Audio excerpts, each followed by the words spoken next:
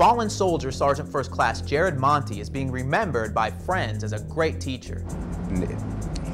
He taught his guys everything he knew.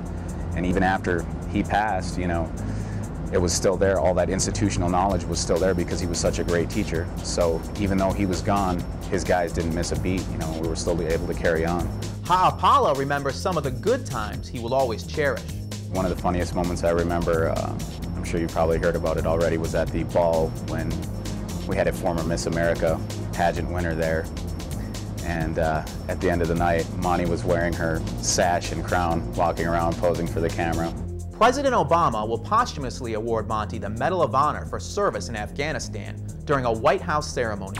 That's a 60 Second Army Now from Soldiers Radio and Television, Washington.